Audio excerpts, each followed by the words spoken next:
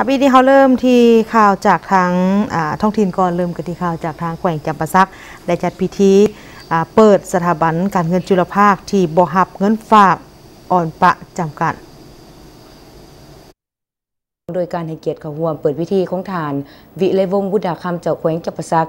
ทานสมบูรณ์เฮืองวงศาห้องเจ้าแขวงจับประซัก โดยมีการนำของแขวง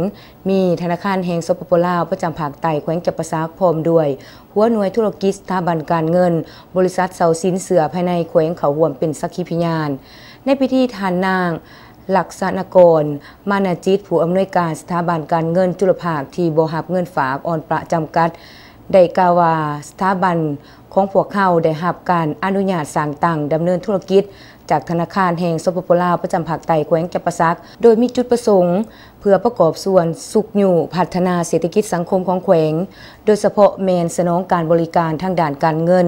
ด้วยการปล่อยเงินกู้จุลภาคให้แก่หัวหน่วยธุรกิจขนาดน้อย และกลางตลอดถึงพ่อแม่ประชาชนทุกสันคน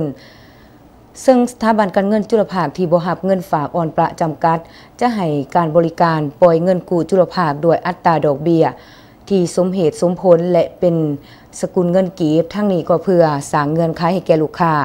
สามารถเข้าถึงแรงทุนได้ง่าย บนพื้นฐาน การบริการที่โปร่งใสและสะดวกสบาย